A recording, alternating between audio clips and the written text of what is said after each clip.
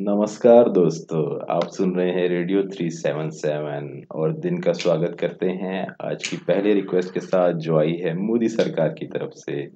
तो आइए सुनते हैं ये गाना। बस यही अपराध मैं हर बार करता हूँ।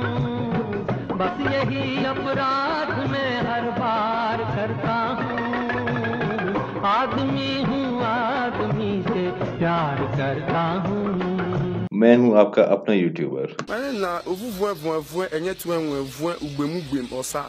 फारिग बैठा फेसबुक की न्यूज़ फीड्स में उंगलियाँ कर रहा था तो ये न्यूज़ सामने आई कि इंडिया में एलजीबीटी लेगलाइज हो गया है मतलब व्हाट द फक मैन अब हवस की आग बुझाने के लिए क्या ताल से ताल मिलाओगे?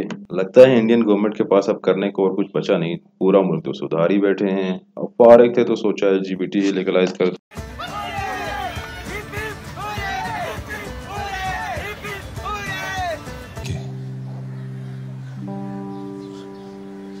No.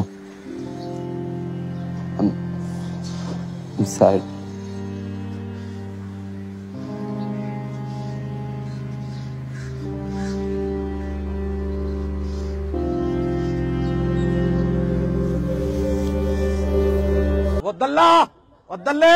क्यों भाई? और रजा से तुम लोगों का भरोसा उठ गया था क्या? जो गांड मराई आवाम में आम कर दी। पहले जब कोई बोलता था कि मैं तेरी गांड मार दूँगा तो लड़ाई हो जाती थी। लेकिन अब कोई बोलेगा तो प्यार हो जाएगा। अब होगी दिन में भाई बंदी और रात में चारपाई गंदी। पहले रेप किसी से जान नहीं छुटती थी। अब अपने लौंडों के लिए भी सिक्योरिटी गार्ड मेरा मतलब एक गार्ड रखने पड़ेंगे। लेडीज़ का मसला तो वही रहा कि उनके हस्बैंड उन्हें सेटिस्फाई नहीं कर पाते।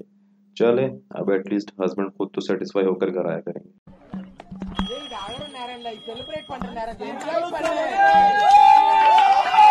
We are all not facing stigma discrimination from now onward. Oh, thank you so much, Supreme Court of India. They are legalized LGBTIQ community. Thanks a lot. भोसड़ी के मादर चौथ बहन के लोड़े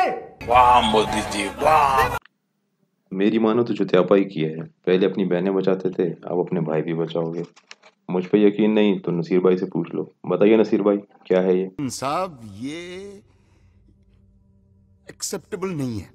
अब तो इंडिया में किसी के पैसे ज़मीन पर गिर जाएँ तो वो झुक कर पैसे भी नहीं उठा सकता। पहले दोस्ती में लोग जान देते थे और अब हम यहाँ पेशावर से परेशान थे।